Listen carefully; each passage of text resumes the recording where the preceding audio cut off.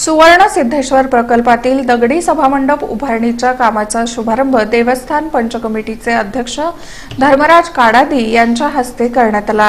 पहिल्या श्रावण सोमवारी श्री सिद्धेश्वर मंदिराच्या सभामंडपात देवस्थान पंचकमिटीचे अध्यक्ष धर्मराज काडादी यांच्या हस्ते श्री सिद्धेश्वरांची प्रतिमा आणि सभामंडपासाठी घडवलेल्या शिलेची विधिवत पूजा करण्यात आली. श्री सिद्धेश्वर मंदिरासमोरील दगडी सभामंडप प्रकल्पाचं काम श्री सिद्धेश्वर देवस्थान पंचकमिटीनं हाती घेतलंय. सभामंडपाच्या बाजूंनी कोरीव आणि नक्षीदार दगडी कमानी उभारल्या जाणार आहेत. याविषयी बोलताना धर्मराज काडादी म्हणाले की म्हैसूर आणि बंगळुरू येथील कारागीर इथं आले आहेत. श्री सिद्धेश्वर साखर कारखान्याच्या प्रांगणात या सभामंडपासाठी लागणारे दगड घडवण्याचं काम चालू आहे. हे काम तीस ते चाळीस टक्के पूर्णत्वास आलं असून श्रावण महिन्यात दोन कमानी उभारण्याचं उद्दिष्ट ठेवण्यात आलं आहे.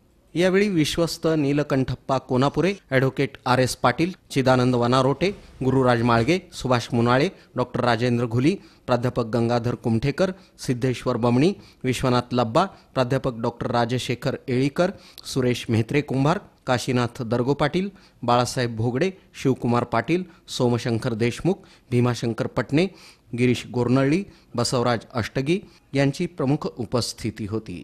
बसवराज शास्त्री हिरेमठ आणि शिवयोगी शास्त्री होळीमठ यांनी या पूजेचं पौरोहित्य केलं.